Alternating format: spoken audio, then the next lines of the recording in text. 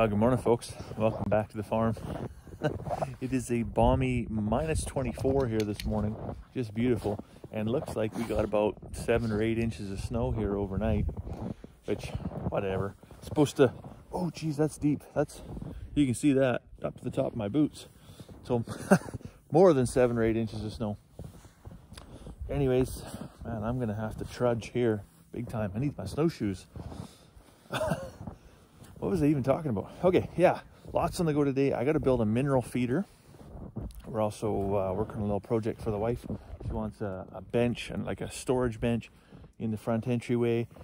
We've kind of been picking the project up, dropping off, picking up, dropping off, procrastinating maybe. I don't know what you would call it for several months, but she's nesting now because she's she's like seven months pregnant, so it's time to get on with actually doing some real projects. Man, oh man, yeah, you can see all the snow in front of the shop here. I'm gonna have to shovel my way into the shop. I'm gonna have to shovel my way into the chicken houses. It's gonna be an interesting morning. I made it in. That that snow is something else today. Anyways, mineral feeders. What I want to do, as as you guys well know, we use these lick tanks that we get from Bloom Enterprises, and they have the adaptable in it. I'll just see if I can do this with one arm. Flip it over. You can see the ball in there. Right, so it, it's a floating ball inside of a column of fluid. And so we fill these tanks with eight gallons of molasses. It's actually a 28% protein sheep supplement. So it's not just molasses, it's actually got all the nutrients and minerals that they need. So we're able to deliver that as a feed supplement, also as a mineral supplement. So it's kind of a two for one deal. We don't have to feed any additional mineral on top of this. We do keep a free choice salt lick out there just, just because, but largely we find that they don't even touch it the, the challenge we have with this, I mean, you just, you just saw it outside, is that we get snow on top of snow on top of snow on top of snow. And this thing is, you know, eight inches deep or, or thereabouts. And sometimes you come out and, and this is gone. Like we have, like where, where did it go? And so what I want to do is I want to build a little feeder, a little raised feeder to get this a little bit higher off the ground because the sheep don't, they don't need, this isn't like it's worked for optimum height for, you know, the sheep to go down and lick it or anything like that. This is just, you know, the adaptable piece, which by the way is very hard to come by, is only eight inches long and so the depth of the tank is set accordingly. But, you know, I, I can afford to come up another four inches and the sheep will still happily get their mineral.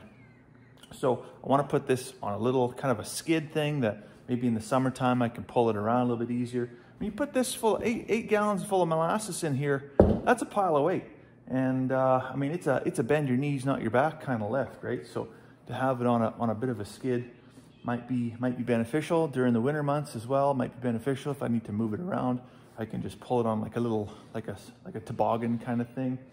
Uh, but I want it, I want it raised up off the ground a little ways so that if we do get freezing or melting or whatever, a whole pile of snow, this tank itself isn't frozen in and buried in the ground because that's, I have one on the other side of the shop over here that I haven't seen in a month. Because, simply because it, we got a whole pile of snow. I lost track of where it was. I tried to probe, probe around in there, but we had freeze thaw, freeze thaw, freeze thaw, and I'm not gonna see that tank until probably April, let's be honest, right? So if I can get a little bit more elevation, that'd be handy. Now, in order to build this, I'm just gonna use you know, scrap two by six or scrap two by eight or some stuff that I have laying around. I'm not going to go to the lumber yard and spend a whole bunch of money on this, but uh, I think it should be a fairly quick project. The other thing, like I said, we're working on, this is the wife's uh, bench lid. You know, she's working for, it's under seat storage in the bench. So she got that all stained up yesterday, spray painted the hinges black. So I'm going to have to drag the air compressor in because there's some, also some, what do, what do we call this? Shiplap, tongue and groove board, reclaimed tongue and groove board from, uh, I think we got this from a buddy of ours that had this stored behind his shed. But hate to see it go to waste because it's absolutely gorgeous wood. So we're gonna put that uh, as part of an accent wall that goes in the back of the bench and then in the front of the bench. The back of the wall is already done. She's already painted it like a nice chalky white.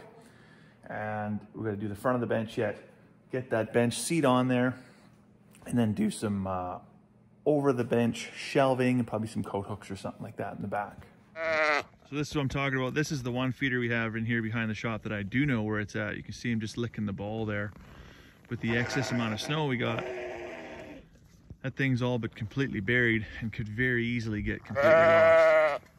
Got some hay forked over to the girls. These V feeders that we, I made these out of an old IBC tote actually, the cage. And I tell you, they have been an absolute godsend when it comes to reducing feed waste and not having your animals just drag, you know, free run over a round bale, just drag hay all over your yard and trample and poop on it. They pretty much get out of there whatever they're gonna eat at that particular moment, reduce feed waste uh, pretty effectively. So we actually made a couple of videos on how to do that. So if you wanna go back and search that on our channel, be very, very handy, very cheap alternative to buying, you know, four or five, 600, maybe even $800 V feeders from your local feed store. Well, I managed to dig my way into the chicken house here, and uh, I'm just gonna open the hatch, and you can see how much snow we got. They're not getting out there. There's maybe, yeah, there's about an inch of daylight poking through the top, so I'll have to clear that out for them. Tomorrow, they're probably not even gonna go out today, but tomorrow it's supposed to warm up to like zero or plus one, so they're gonna wanna go outside. Um, while I'm in here though, a year ago today, I, uh, I redesigned this hanging chicken feeder here. Now redesign, I, I don't take a lot of credit for it, but I did add this ring. Basically, I took the bottom off a barrel and used a hole saw. And what I did, I just lower it down like that. And you can see how the chickens stick their head in there and they poke. What chickens like to do, if that's not there, is they'll go in there and they will literally just swipe and shovel with their beaks for the tasty bits. So having that on there has significantly reduced the amount of feed waste that we have from our chickens. So if you don't currently have that on your chicken feeder, highly recommend, it's easy to do, right? Find an old barrel, use this as a template, use that as a template, cut it out, use a inch, I think it was an inch and a half hole saw that I used for this piece. And uh, yeah, significant reduction in cost feed like many other things we do here on the farm. I did video that, so I'll leave the link to that video in the description down below. Now you might recall from previous videos that our chickens are free range. I'm pretty proud of that. They got a whole run of 143 acres. So you might be asking yourself, well, why is the hatch closed in the chicken house? Well, I have a general rule of thumb. When it hits minus 30, it's a really good time to close the chicken house door because otherwise there's a whole lot of complications around animal welfare and freezing of eggs, that's a lost revenue right there. That's a good enough reason right there. But uh, so minus 30, usually close the hatch on the chicken house. And that usually lasts, you know, two, three days at a time. Not two, three weeks, four weeks at a time. We've had a very extended cold spell here. Man, I can't even see toque sliding down. But uh, finally, tomorrow, things are gonna warm up and they'll be able to venture outside again. So I'm just over here by the bulk molasses tank, just filling up my bucket. You can see it minus, what did they say it was, minus 26 or something like that. Still pouring. In fact, all the way to minus 38. We still got it to come out of the tank. It was slow, but it still comes out. So, I mean, that's an excellent source for, if it sits out in a feeder and you're concerned, well, is it just gonna turn into a block of ice? This stuff we get, uh, we get through Bloom Enterprises, obviously, as you can see, but it's a, it's a Westway sheep product. So fantastic for winter operations and I mean, trudging through this, it's tough to see. You can't see the contours because you're gonna get snow blindness. But yeah, I mean, kind of trudging through here, it was, you can see the snow in my coveralls all the way up to the top of my knees. So, I mean, I'm six foot four and it's up to my knees. So it's definitely, uh, definitely a challenge getting around today. Well, the horses here, that was the last batch of critters I got to feed here this morning. And everywhere I've been going, I've been, I've been blazing a trail through the snow that's four feet wide because it's, it's as wide as me and then I'm packing those two five gallon buckets over there. So I'm just literally plowing a trail. And yeah, most of the yard, the stuff around the shop is to, is to the knee or just above the knee. But some of the stuff in the open yard on the hilltop here is almost to the, uh, almost to the loins. So I'm having to gird up my loins for, uh, for chores this morning. I think I'm gonna head back I'll, uh, I gotta take the stuff, the, the air compressor, the, uh, what do you call that? The air nailer, and we'll get the wife's project in the house done while I have a cup of tea. And then I'm gonna probably bring out the leaf blower, which if you don't have a leaf blower for snow removal, trust me, try and pick one up at an auction or, you know, on the buy and sell somewhere. It is a game changer. You know, it, whether it moves snow any faster or not, it definitely reduces a lot of workload and it's quite fun. But uh, yeah, I got one. So we're gonna clear the deck off. We're gonna clear the vehicles off with that.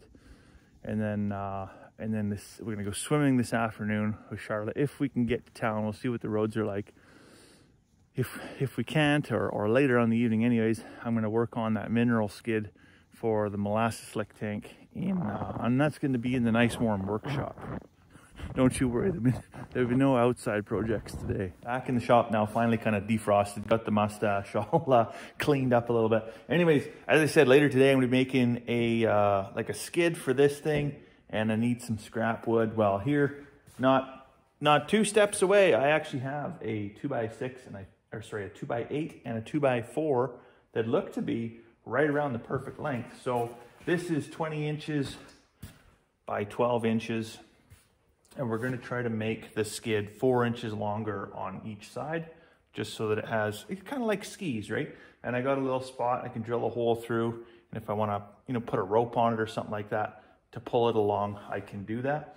When I build it, I won't actually be putting a rope in there permanently. And the reason for that is, well, if it's out there with a rope in it this time of year, what's that rope gonna do? It's gonna freeze in the ice and snow. So for as handy as it is to have a skid, if the rope that's attached to it is frozen in the ice, that doesn't help me very much.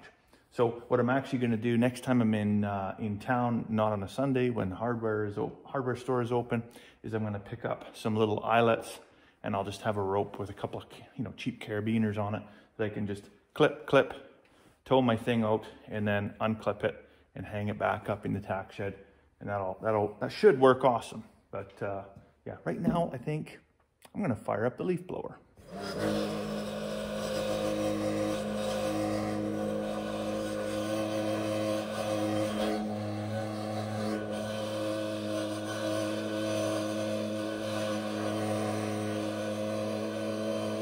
So the day's gone a little bit sideways on me, as you can see. Two hoods up in the air. We've got, I don't know how many inches of snow, an unfathomable amount of snow. And uh, so we did go swimming, but the roads are absolutely treacherous. And I thought, well, I better, once we get back, I better get plowed out here because otherwise we're, we're not going anywhere tomorrow. I got my truck moved, pulled out of the way, Went to grab Carmen's truck. It's not going anywhere. Stone dead battery. Well, there's no power. I won't say stone dead battery, but there's no power going to the key. I couldn't even unlock the door with the uh, key fob. So that was lovely. Anyways, hopefully get this thing boosted here. And then, uh, you know what I'm really hopeful is that there's going to be a there's going to be like a light on inside or something, or, or the headlights left on. Well, the headlights aren't left on, but something easy that I can be like, oh, okay, this is simple. You know, tell the wife, hey, don't do that again. But I'm looking in the cab. Doesn't look like the interior lights on, the headlights weren't on. So I have no idea why the battery's dead, but I gotta get this thing boosted and get it out of the way because I got like 24 inches of snow to plow out of the yard for the ninth time in seven days. Fired right up, I don't know. I'll get it moved, get it parked over the shop, and it can sit there and run for an hour while I plow snow. Well, I just got done plowing snow, and it was it was way more fun than you would uh, have thought. I ended up getting the front end of the tractor over the edge of the ditch when I was trying to push snow up right at the end of the driveway and just kind of got fish hooked over there. And I thought, okay, well, whoa, I'll just use the bucket and try and push myself out. But try as I might, because the grapple's on, I can't get a big enough, I can't get a big enough bite with the bucket because the grapple's touching the ground. Front wheel assist doesn't work. The brakes don't work. So even if I get myself pushed back, every time I go take a new bite, it just rolls forward, rolls forward, rolls forward. Instead of having the wife, thank goodness I boosted that truck because uh, yeah, I was able to just roll it over there, hook a tow strap to it, and apply some forward, or I guess backwards pressure, forwards pressure for the truck, backwards pressure for the tractor, and uh, and then just pull myself out of there. And I still haven't built a mineral feeder yet, so I promise I will get to it. But I'm gonna go have a bite of supper here right now, and then I'm gonna come back and I'm gonna cut those boards, and we're gonna make this uh, we're gonna make this mineral skid. Well, folks, I'm back from supper. It's amazing what a little bite of food can do for your mood. Anyway, so I'm all done with the tractor nonsense. That's fine. And I've got my, uh, I wouldn't, this is not really scrap wood necessarily, but it's, it's cut offs from another project.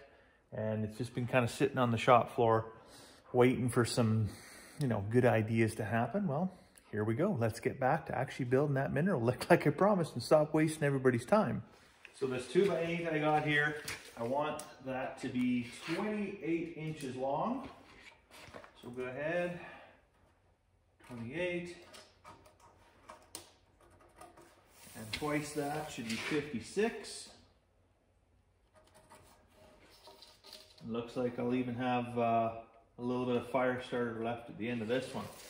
So that'll be the 2 by 8 Now the 2 by 4 we're gonna go 13. So the tank is uh, 12 and a half wide. So that'll give us a quarter inch of room on either side. So we'll go 13, 26, 39, and 52 if I recall. Should be about right. Looks right to me. Yep. Okay, let's get cutting. So I've got all my 2x4s and my 2x8s cut to length. Next I'm gonna do is, I'm actually gonna come across at a 45 degree angle and just nip the corner off right here. Same on the other side. The reason I'm doing that is, I mean, the intent is to be able to, to pull it along, right? So have a little bit of a bevel there. It's gonna help get it over any kind of uneven terrain or if it gets bound up with snow or something like that. Always a little bit of angle, just you can never really go wrong. Okay, so now all our cutting is done. We've got all our parts and pieces. I have my little impact drill and I've got some number eight, three inch, what they call multi-purpose screws with the number two Robertson head. Very commonly referred to here in Canada as a deck screw. And that's what we're gonna use. We're gonna use the three inch just because, well, I don't need three inches, but there's not too many times I can say that. Anyways, uh, we're going to use a three inch screw simply because that gives us lots of screw into the second board. And this is going to be around animals. Animals have a tendency to knock things about. And so a little bit of extra securement is never going to be a bad thing. So what we're going to do, you can see what I've done with the first set of two by fours here. You know, I've got one this way and one like this, and I want to make I want to make an L. So they're evenly spaced like that, but I wanna make an L. And I'm gonna do that with this set as well, but it's just gonna be facing the opposite direction. So go ahead and get our first screws in. Okay, so you can see I've got the two pieces of 2x4 screwed together in an L shape and we're ready to assemble. Now, these 2x8s, we're gonna stand them up with the beveled side upwards. And then we're going to place the 2x4 that way. So 2x4 this way, right? Long side in. And we're going to position it exactly two inches in from the leading edge of the skid. And then we'll go ahead and I'll just get a screw put in there just to kind of hold it for now.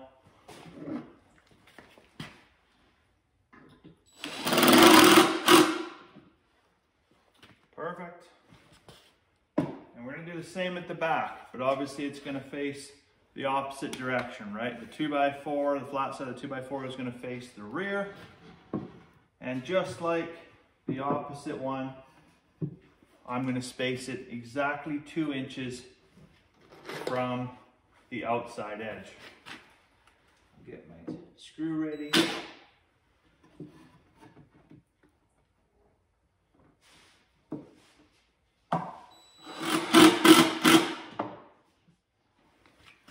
I can go ahead and attach this other side. And I got a whole pile of screws to put in here to hold this together. So I won't, I'll, I'll come back once I got it all screwed together. And then we'll flip it over and see if magic happens.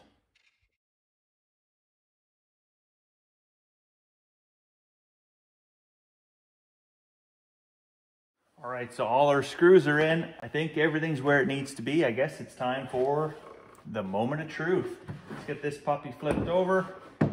As you can see, this is what I mean by it being a skid, right? You can skid it through the snow. Now, later on, what I'm gonna do is I'm gonna drill probably a, I don't know, 5 16 hole or something like that in here. And I'll put a stainless steel eyelet on either side like I mentioned earlier, to attach my rope to, clip, clip with a little carabiner, and I can pull this thing merrily, merrily through the snow. But let's see if my math was right and if this lick tank actually fits in there. Look at that, folks. Ta-da! Nice, proper height off the ground. I'm not gonna lose this thing in the snow. And uh, if I do lose, lose in the snow, you know what? I don't mind chiseling around with a shovel or a pick around some old leftover 2x8 that I had sitting in the shop.